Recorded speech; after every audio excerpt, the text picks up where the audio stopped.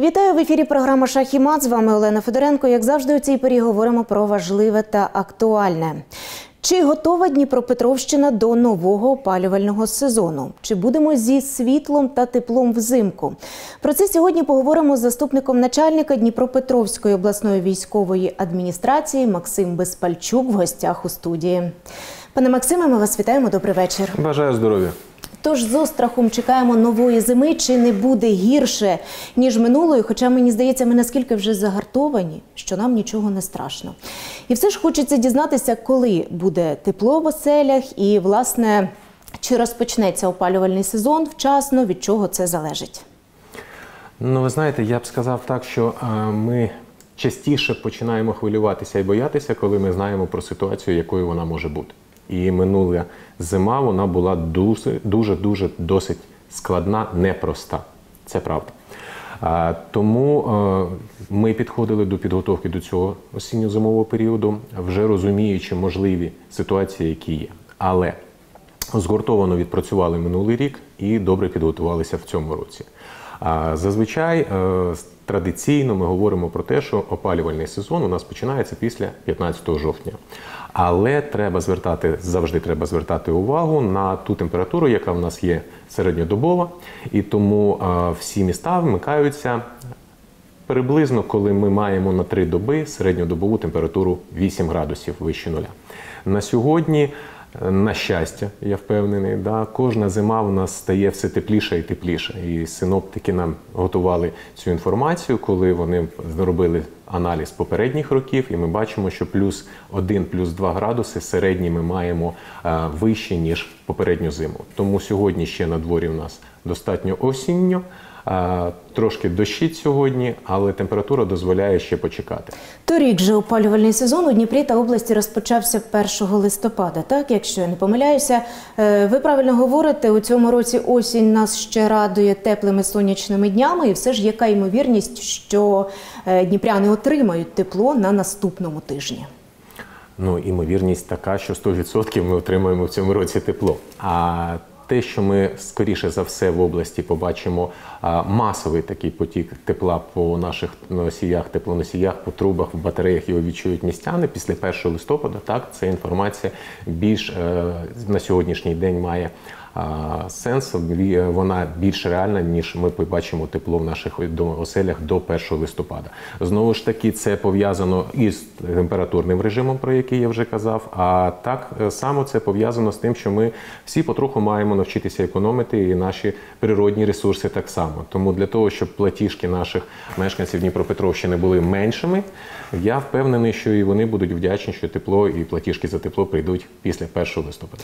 Пане Максиме, як ви оцінюєте готовність Дніпропетровщини до нового опалювального сезону? Наскільки відсотків готові котельні, наскільки готові системи опалення, теплові мережі?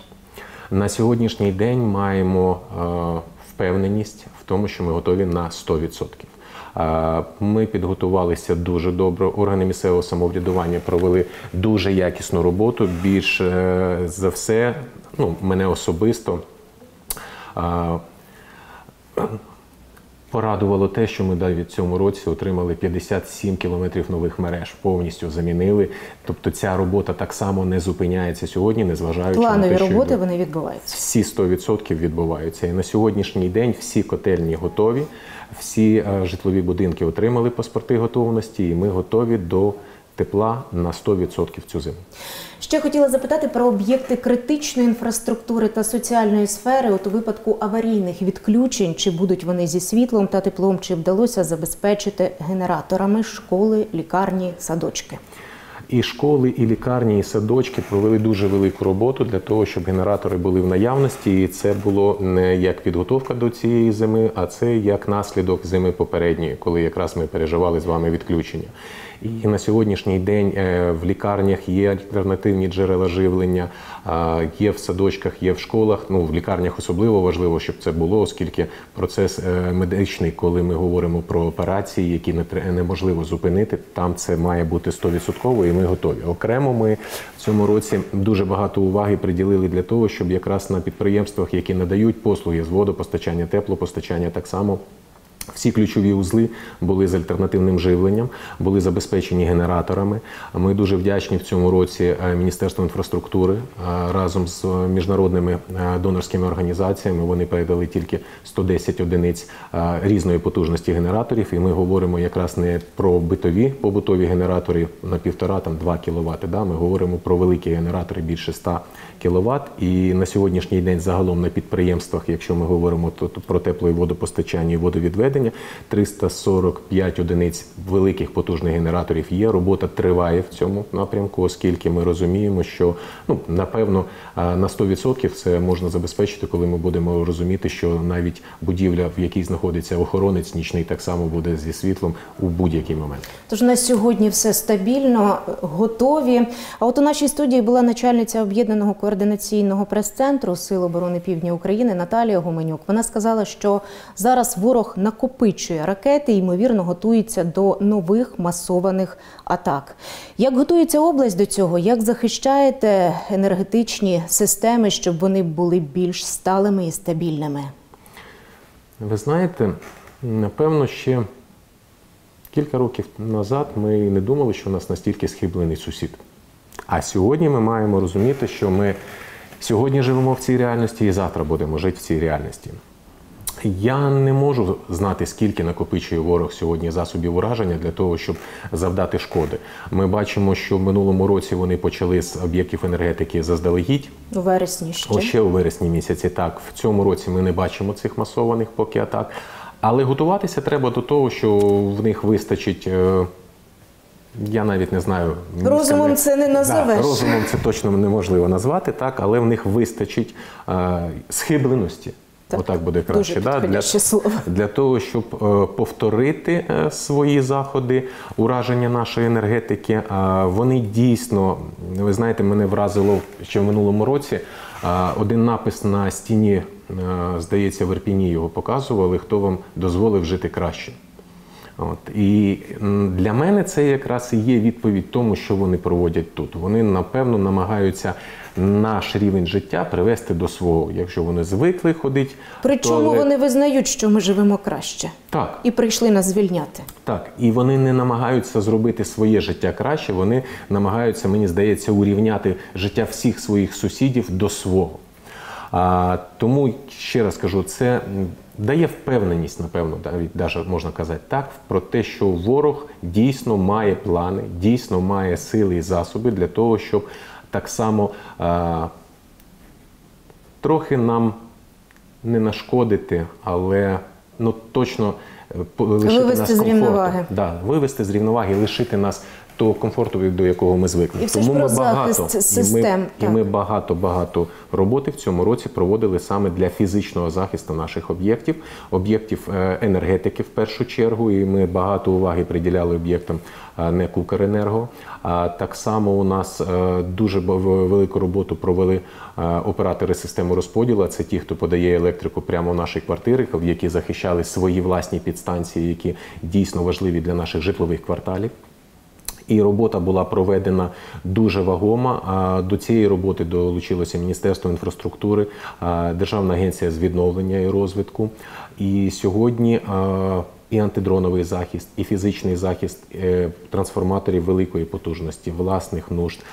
Ми захистили всі узлові е, ключові точки на наших підприємствах тепловодопостачання, розуміючи, що сьогодні для е, росіян, напевно, взагалі немає межі яку вони не можуть переступити. Так, вони хочуть вивести з нас з рівноваги, ми це розуміємо. Вони дійсно е, не можуть не хотіти е, нанести шкоди тиловим областям, тилу нашому, бо тільки тил підтримує сьогодні і дух наших збройних сил на передовій. І тому їм потрібно сіяти паніку. Напевно, це їх самий головний інструмент. І тому ми розуміємо, що це не просто воююча держава, це держава-терорист, оскільки вони реально воюють виключно виходять мирним населенням. з мирним населенням. Да. Пане Максиме, ми, до речі, запитали у містян, як вони готуються до зими, як налаштовані. Пропоную послухати опитування, потім продовжимо розмову.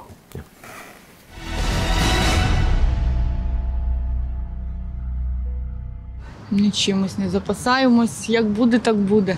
Сподіваємось, що ця зима буде трішечки легше. Я думаю, що нас наш уряд, наше керівництво якось е, підготовилось до зими. Дуже хочемо, щоб була перемога і щоб ми вернулись всі додому. Бо ми, ми не міс, місне. Так що у нас одно желання додому. Фонарики у нас є. А так, ніяких ні акумуляторів, нічого. Ну щодо ворога, я так розумію, що на майбутнє потрібно готуватися до важкої зими. Це буде повний блекаут.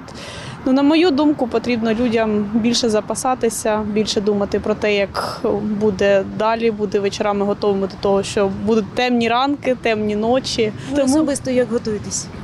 Особисто, ну, як мінімум, запасання всіх продуктів, як мінімум, запасання тих самих свічок, е, павербанки. В мене є таке відчуття, що все буде добре. З тим відчуттям і прокидаєшся кожного ранку. Ну я більше всього уповаю на Господа, бо я віруюча людина. Я думаю, що Господь це усмотрить, він не дасть в обіду своїх. Государство також заботиться о людях. Я думаю, що все буде до отоплення. Вже сказали, що все готово, тільки і чуть похолодає, зразу буде отоплення. Я думаю, що від ворога можна очікувати взагалі чого завгодно. А зима. Мені здається, що ми, українці, будемо триматися, тому що ми взагалі такі бойові. Ми готові. В нас немає генератора, але в нас є, ну, є повербанки, ліхтарі, тобто ось такі речі якісь. Я вважаю, все буде добре. Ми переможемо. Зиму пройдемо, тепло буде. Генератори всі вже закупили. Не знаю, зима прийде, вона покаже. Готовились до цього вже, готуємося, по крайній мірі. Цієї зими вже не страшно. Вже думаю, ні. Будемо дивитись по ситуації. Є теплі зимові речі, є тепловентилятор, є теплі ковдри, а там подивимося. Сподіваємося на найкраще. Ну, у цьому році буде значно краще, оскільки ми вчимось, більш підготовлені, пройшли всі оці випробування, покладаючись на ЗСУ, енергетиків і самі запасаємось. Зима минулого року була тепла, і нам просто повезло, що в принципі і інфраструктура працювала, і все було добре. Все залишилося з минулого року. Будемо сподіватися на краще. Дякую. Слава Україні! Героям слава.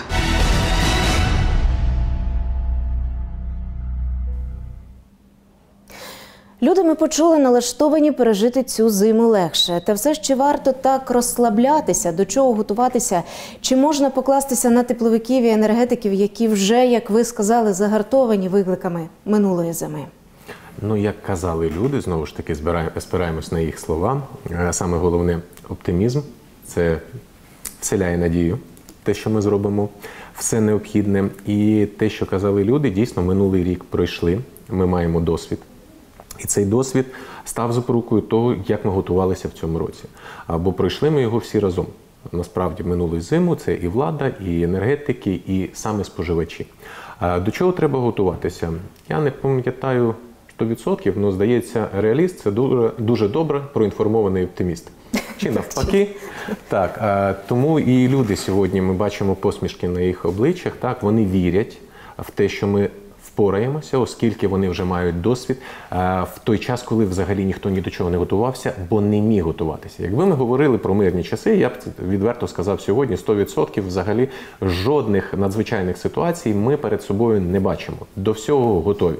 У цьому році ми Складніше готові. давати якісь обіцянки. Звичайно, а оскільки у нас є одна осторога, у нас є цей схиблений сусід, і ми не знаємо, коли і що він утне е, в наступний день, в наступну хвилину. Але і комунальники, і енергетики вони дійсно отримали великий досвід в минулому році і тому підготувалися. Що треба робити людям на сьогоднішній день? Знову ж таки, підходити до ситуації е, з розумінням того, що можуть бути відключення, оскільки це залежить сьогодні не від держави, це залежить сьогодні більше від обстрілів, оскільки єдина енергетична система вона побудована таким чином, що можна розробити вузли, і це саме те, що було в минулому році, і впорались. І повний блекаут, я не вірю. Енергетики наші герої показали в минулому році, що з блекаутами так само за добу піднімаємося.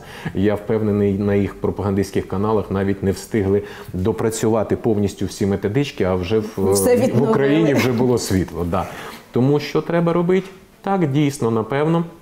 Треба мати теплі речі. Ну, теплі речі мати просто для того, щоб можна було спокійно виходити на двір, бо тепло в оселях буде. Якщо ми говоримо за приватний сектор, то багато людей купили генератори в минулому році. То я б радив їх е, ще раз перевірити готовність їх, ще раз е, викликати компанію, яка може обслугувати їх, замінити мастило, перевірити, що він заводиться, і зробити запас на ту саму каністру е, дизельного палива або бензину, в залежності від того, що використовує. Краще мати впевненість в тому, що ти до всього готовий, чим неочікувано бігти і шукати ліхтарик або свічку. А в помешканнях е, багатоквартирних будинків в містах е, так само з енергетиками ми дуже ретельно опрацьовували питання саме тих міст, в яких є електричне опалення. Оскільки е, вони взагалі залежні від Складніше того, їм так і навіть в минулому році ми змогли зробити таким чином е, і графіки погодинних відключень для того, щоб вони якомога менше стосувалися саме міст, в яких е, електричне опалення у людей, бо це дійсно важко. А там, де було 3 чи 4 години не було світла, але опалення в батареях у людей було. Тому я впевнений в тому, що ми. Да, дійсно готові, але ми з осторогою дивимося на те, що може задіяти ворог. І люди мають бути так само готові просто до того, що ну, якщо немає світла, да, можна вк- вмигнути просто звичайну led лампочку в павербанк, і тобі вже не темно. Бо дуже незручно, дуже неприємно, коли просто навколо темно. Якщо ти задав собі трошечки світла, то і перечекати пару годин так само Е, можна. До речі, торік у Дніпрі світло і області відключали від 4 годин і більше. Чи є вже якісь прогнози щодо тривалості відключень? Давайте будемо говорити за різними сценаріями. Якщо не буде виникати критичних ситуацій, чи будуть вимикати світло? Якщо ви згадаєте трохи історії, то останній раз до війни обмеження по світлу були ще, якщо мені пам'ять не зраджує, у 2014 році. Після того не було. Тобто енергетики розуміють, звичайно, з приходом холодів е, є навантаження на систему, і в залежності від того, скільки виробляється електроенергії, дійсно бувають перекоси. Але е, всі е, алгоритми дій, всі інструменти, як їх вирівняти для того, щоб не вимикати людям світло, вони є, вони опрацьовані, і до війни вони показали свою дієвість. Так і було. Тому, якщо ми не говоримо про те, що будуть обстріли через пошкодження енергетичних об'єктів може бути розірвана це сам ланцюг єдиної системи, так то на сьогоднішній день ми не бачимо взагалі е, необхідності вводити якісь погодинні відключення. Але те, що ми з вами вже проговорювали, Все і- залежить від настроїв нашого дикого сусіда. це по-перше, і ми до цього так само готові. І це так само опрацьовано. І я вам скажу, що в минулому році різні області застосовували різні графіки погодинних відключень.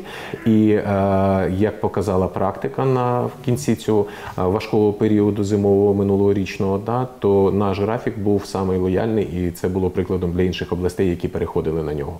Це давало можливість і енергетикам вчасно вмикати і вимикати так, і таким чином цей графік максимально е, відповідав тому, що люди бачили на сайті е, ДТЕКа для того, щоб розуміти, коли і до чого готуватися. Орієнтувалися.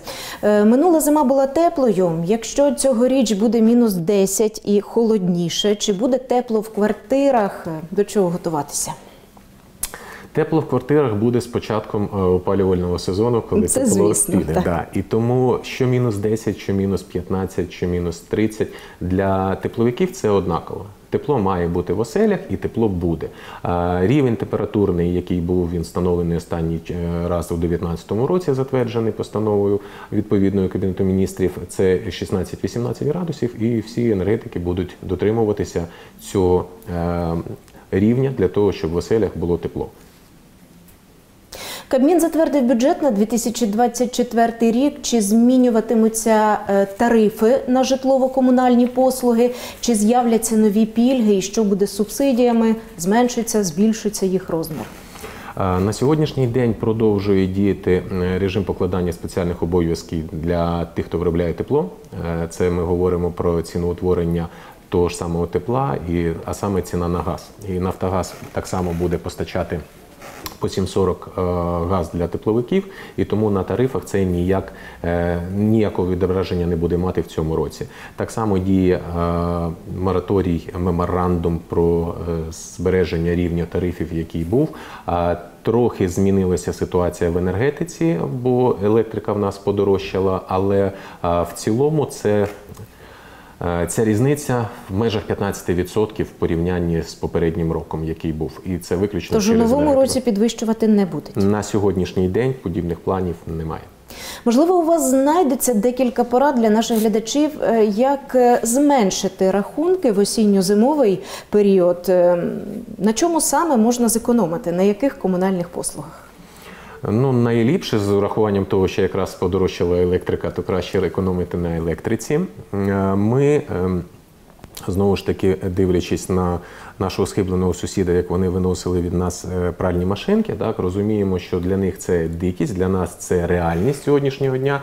І тому для того, щоб дійсно зекономити, е, ну, по-перше, можна було зробити те, що зробив особисто я і моя родина. Давно встановили собі двозонний лічильник і перевели такі речі, як прання.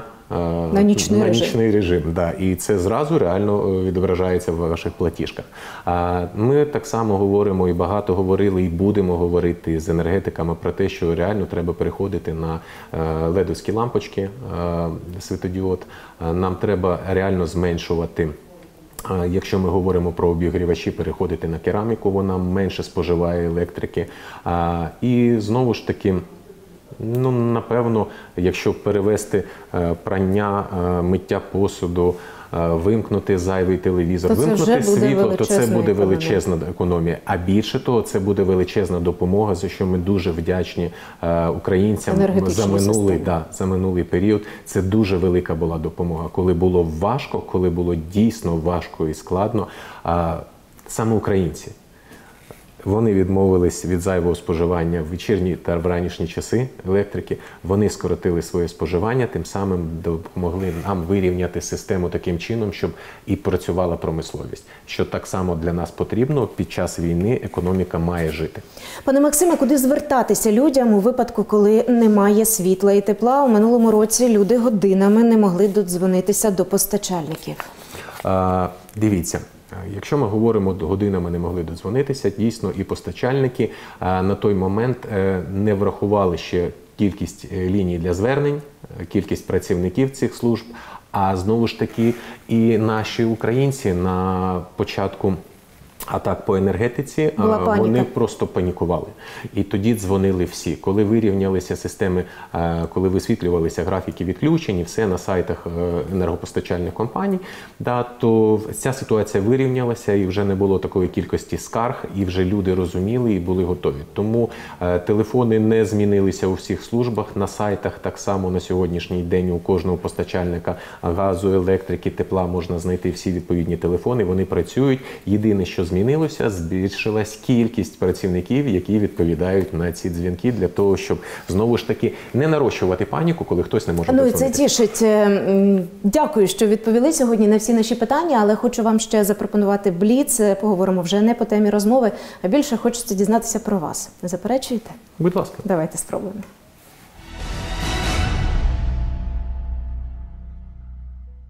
Як ви особисто та ваша родина готуєтесь до зими? Ну, якщо чесно, то ну, змінили гардероб у дітей у собі, купили Family Look худі для того, щоб коли проводимо час е, разом, було і красиво, і комфортно, і тепло. Знаю, що ви маєте три освіти: музична, менеджмент і юридична. Чи знадобилися у житті всі ці три дипломи? Насправді так, оскільки навіть музична вона більш педагогічна, але як керівник оркестру на сьогоднішній день е, с- буває так, що стикаєшся з зовсім різними людьми. І Це як партії в оркестрі, тому треба їх всіх зібрати докупи для того, щоб отримати ту саму мелодію, яку всі хочуть почути. Пане Максиме, який ранок для вас є ідеальним? Ранок, коли просинаєшся. Ну, буває так, що вдається поспати десь до сьомої години. І тому я вважаю, що цей вважаю цей ранок для себе ну, максимально крутим. Як любите проводити вихідні? Здебільшого, звичайно, з родиною, з, улюбленим собакою, е, за переглядом яких цікавих фільмів, добрих, сімейних. А от чесно, вдома, коли збираєтесь з родиною ввечері, чи вдається не думати про роботу? Дуже рідко. Дуже рідко, на жаль, дуже рідко. Але саме за те я вдячний своїй родині, що вони інколи змушують мене відволікатися. А ви любите дарувати квіти? Дуже. Востаннє, коли дарували дружині? Е, Якщо чесно, то це напевно в суботу, і таки треба зробити сюди сьогодні. Це був якийсь привід? Ні, Просто. просто. Що зробите найперше, коли настане наша перемога? Якщо чесно, хочеться взяти дітей, дружину, собаку і поїхати помандрувати. Просто для того, щоб за кермом саме відволіктися від буденності, оскільки треба сконцентруватися на дорозі, е, відчувати відповідальність за своїх пасажирів і трохи змінити обстановку.